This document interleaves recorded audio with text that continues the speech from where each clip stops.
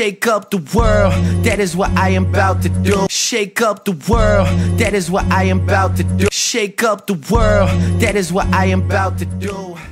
Yo, yo, yo. Made me a quick video. I'm calling this one the lottery ticket.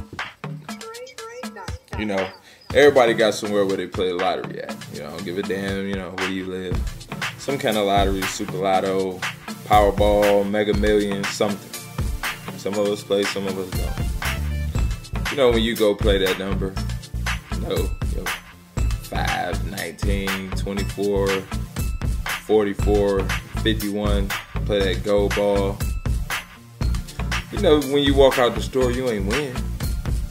But when they show the numbers, you go check just just to be sure, just to make sure that you ain't, you know, you ain't gonna throw no winning lottery ticket away, but you already know you ain't. That's the hell this fight is. We already know ain't no Shane ain't got a fucking chance. Ain't got no shot in hell in this fight. But he playing, so maybe, you know, he got that lottery ticket. You know? That 156 billion chance of winning, you know, he got that lottery ticket. More than likely, he's just like all of us when we leave out that store. Sitting there on the computer or watching TV, waiting on the numbers. But I'm gonna go to my homeboy house. Cause his old lady gonna hook up the food. They put out a mean spread.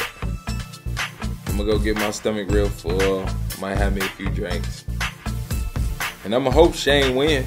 Maybe he juicing, you know. Maybe he juicing so much, he getting stuck in his ass so much he got a booty like Buffy now. He get in there all juiced up, not Pacquiao head off. That'd be just perfect, you know. That'd serve Uncle Bob up just right, you know. Bad part is they'll have to fight again, you know, but that's probably what we need, the whole boxing world. We need a good shake up, you know. But more than likely, he got them same numbers that I had the last time I played the Mega Millions. When he checked the numbers, he'll be disappointed just like I was last time I